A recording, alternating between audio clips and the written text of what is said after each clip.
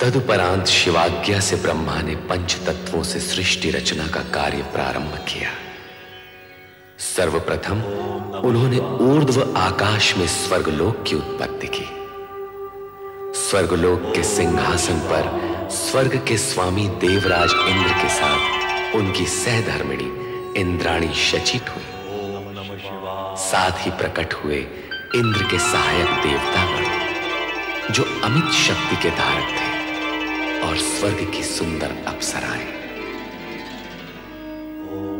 स्वर्ग रचना के पश्चात ब्रह्मदेव ने सात समुद्रों से घिरी सप्त द्वीप पृथ्वी की रचना की।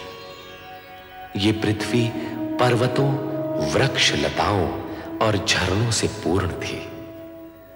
पृथ्वी पर भांति भांति के जीव जंतु पशु पक्षी वन प्रदेशों में प्रकट हुए। स्वर्गलोक तथा पृथ्वी लोक की रचना के पश्चात ब्रह्मा ने पाताल लोक तथा नरक की स्थापना की। पाताल लोक के साथ ही वहाँ रहने वाले असुरों की उत्पत्ति हुई।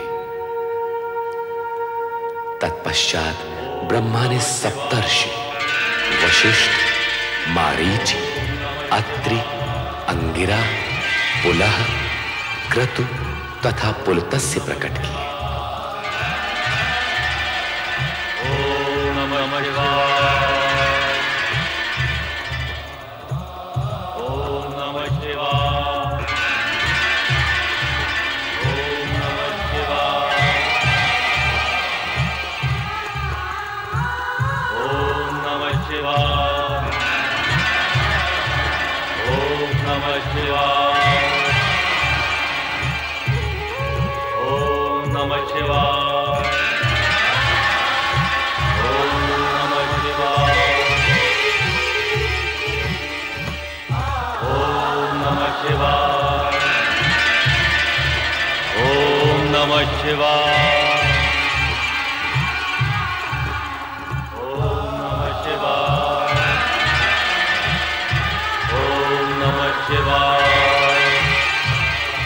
ये सातों ऋषि मंत्रकर्ता, ऐश्वर्यवान, दिव्य दृष्टिधारी, दीर्घायु आदि गुणों से युक्त, धर्म का साक्षात्कार कराने वाले तथा गोत्रों की उत्पत्ति करने वाले ऐसे सात गुणों से परिपूर्ण थे।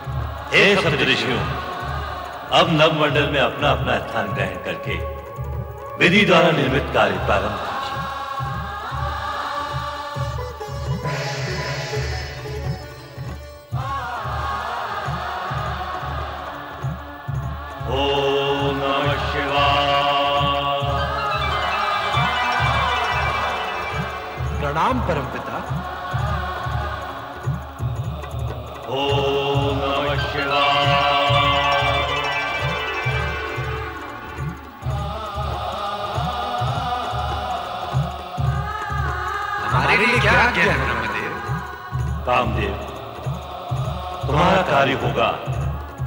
जुगलों में कामेच्छा उत्पन्न करना।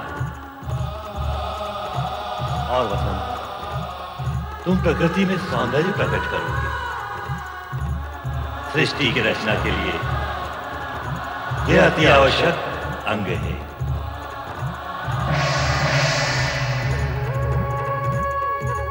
ओम नमः शिवाय।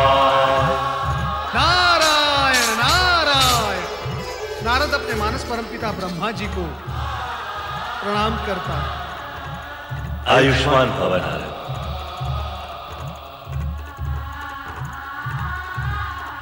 तुम श्री हरि विष्णु के परम भक्त के रूप में प्रसिद्ध होकर संसार में धर्म और भक्ति का प्रचार करते हुए संसारियों की उलझी हुई समस्याएँ सुलझाओ।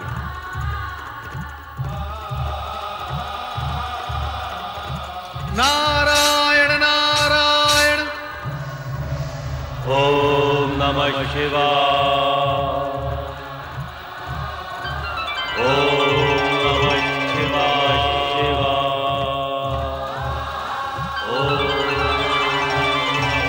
शिवाय।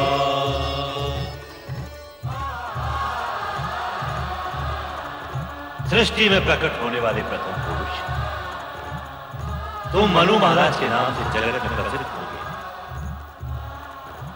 और सृष्टि में प्रकट होने वाली प्रथम नारी संसार तुम्हें शत्रुपा के नाम से सदा स्मरण हमारे लिए क्या आज्ञा है परमपिता आप दोनों वैदिक तथा सनातन धार्मिक विधि के अनुसार एक दूसरे को पति पत्नी के रूप में स्वीकार करके मैथुनी सृष्टि द्वारा प्रजोत्पत्ति का कार्य प्रारंभ कीजिए। जैसी आपकी आज्ञा परमपिता ओम नमः शिवाय।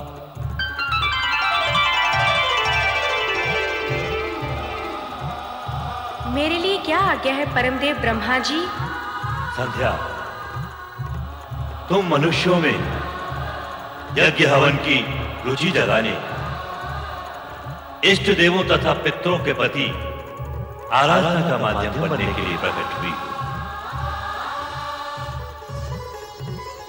तुम धर्म ऋषि के आश्रम में स्थान ग्रहण करो जैसी आज्ञा परमदेव की।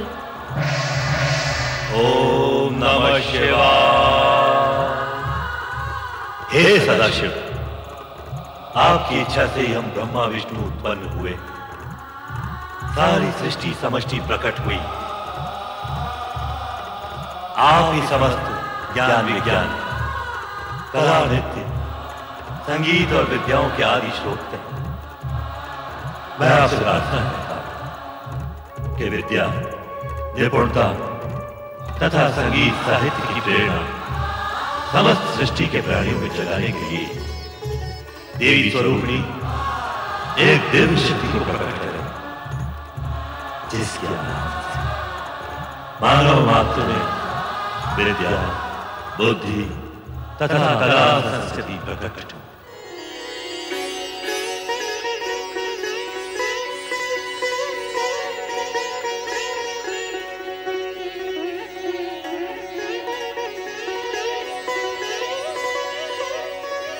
सृष्टि के सज्जन करता ब्रह्मा जी, आपकी तथा सदाशिव की इच्छा से मैं वीणा पाणी सरस्वती आपके सन्मुख प्रकट हुई हूँ। मेरे लिए क्या आज्ञा है?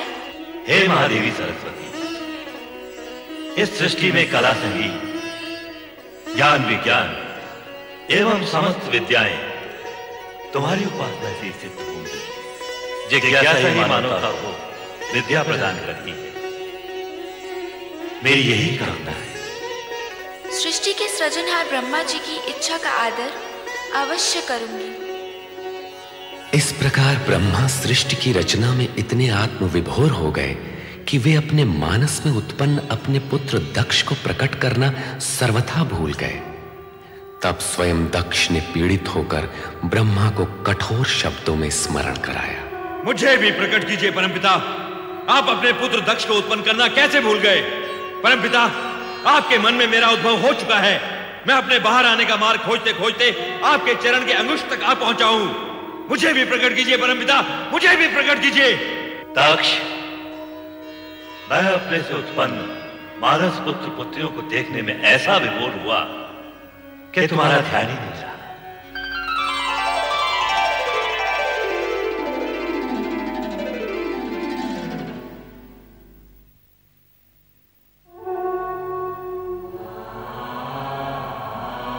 मेरे मानस पिता ब्रह्मा जी मैं दक्ष प्रजापति सर्वप्रथम प्रकट होने का अधिकारी था परंतु आपने मेरी उपेक्षा की।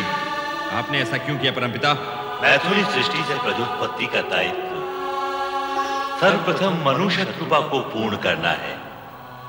अतएव तुम्हारा अंत में प्रकट होना उचित ही है। आप ही ने तो विधान निश्चित किया है परमपिता कि प्रजापति का पद सर्वप्रथम मुझे प्राप्त होगा। अवश्य। हम उस विधान के अनुसार ही कार्य कर रहे हैं। परंतु पदोत्पादक तथा प्रजापति का कर्तव्य तुम विवाह करके ही पूर्ण कर सकोगे। अर्थात आपके कहने का तात्पर्य क्या है परमपिता? पहले तुम्हारा विवाह प्रजापति वीरण की पुत्री वीरणी से होगा। तत्पश्चात ही तुम प्रजापति के लोग जाओ पहले यह कार्य पूर्ण करो। सोच क्या रहे हो बुद्ध दक्ष? तुम तो प्रजापतियों के आदर्श बनने जा रहे हो।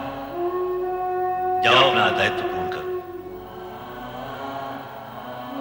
तुम्हारा कल्याण हो। जो आ गया परमपिता